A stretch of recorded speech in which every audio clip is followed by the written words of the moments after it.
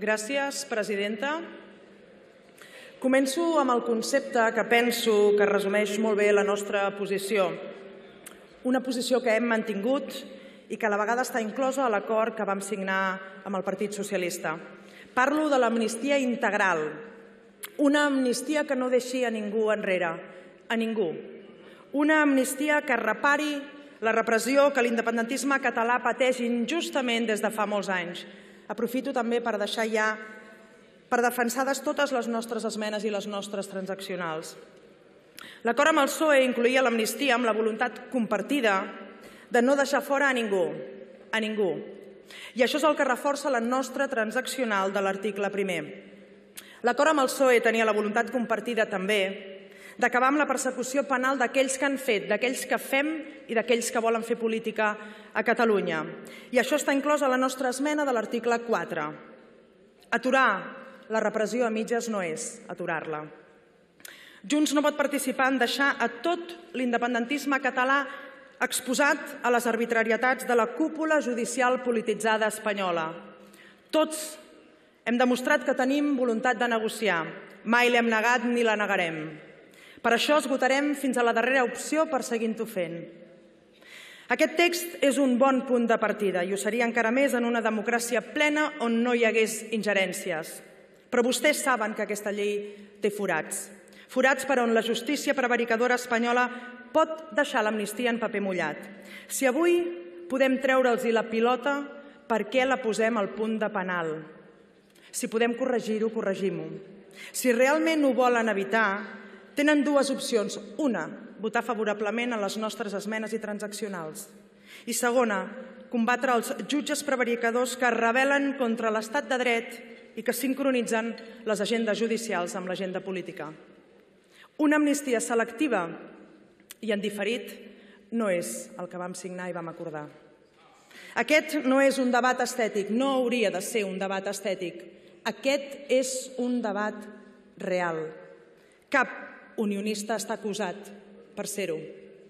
Mentre els independentistes estem acusats, hem tocat presó, exili, hem de pagar milionades, Tenim querelles, i tot per ser-ho, per ser independentistes.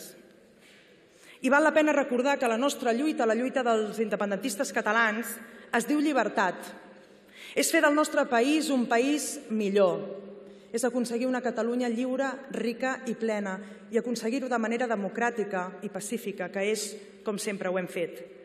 En canvi, la seva lluita ha estat i és destruir tot allò que representem, destruir la cultura catalana, i ja ho estan fent també amb les Balears i València. Ens està passant la repressió per davant dels nassos i no farem res? La cúpula judicial està dient que se'ns tirarà al coll i no farem res? El jutge Aguirre reobre una causa de fa anys el dia abans de la votació d'aquesta llei i no farem res? El jutge Aguirre es passeja per les televisions europees prevaricant i no farem res? El jutge García Castellón es treu els delictes de la butxaca un cop publicat el primer text de la llei i no farem res? L'adaptació de l'agenda judicial a l'agenda política és tan descarada que no fan falta ni arguments. Avui, el govern espanyol hauria de mostrar tota la seva autoritat davant d'aquests fets inacceptables. En canvi, sembla que de nou es deixa arrossegar per l'estètica o pels titulars.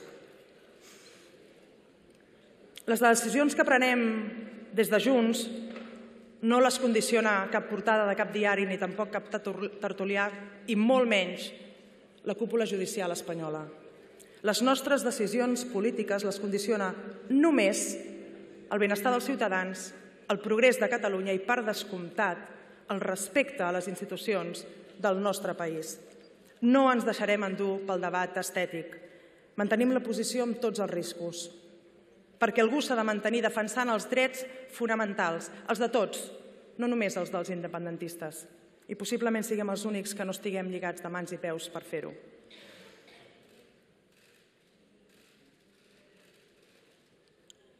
I torno al concepte del debat real, sobretot pels de la bancada ultra, perquè aquest odi que des de fa tants anys aboquen contra nosaltres i contra tot allò català respon també a la por que tenien i que ara va en augment, davant l'arribada d'aquest debat real que des de Junts surt des del primer dia.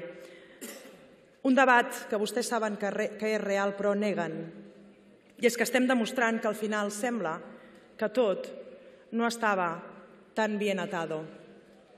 I no trobo cap altra explicació a la seva posició, als senyors socialistes, que no sigui exactament la mateixa que la del Partit Popular. No estan preparats per trencar amb el franquisme. Un franquisme que vostès saben que està instal·lat en moltes institucions de l'Estat i que només depèn de la seva voluntat erradicar-lo.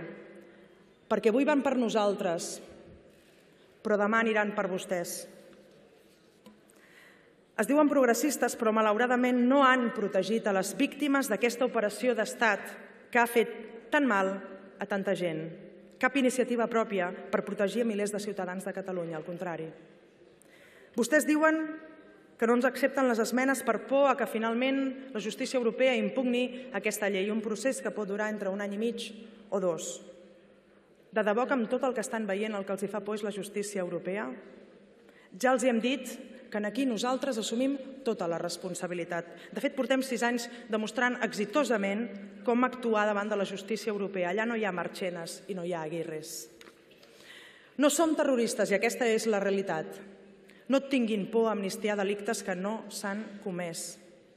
Excloent els termes terrorisme i traïció, que és la nostra transaccional de l'article 2, el que fem bàsicament és no avergonyir ni fer ruboritzar els europeus banalitzant el terrorisme, com estan fent alguns jutges prevaricadors.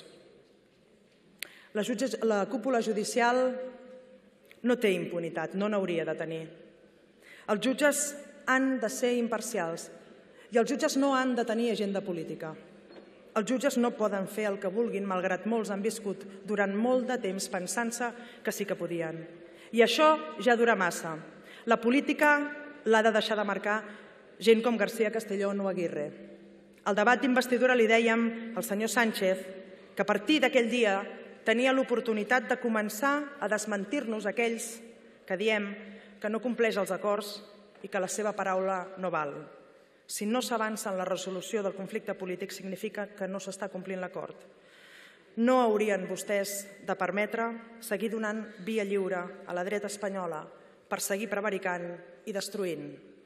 Quants més perseguits necessiten per adonar-se que l'agenda política la marquen ells i la marca la cúpula judicial espanyola.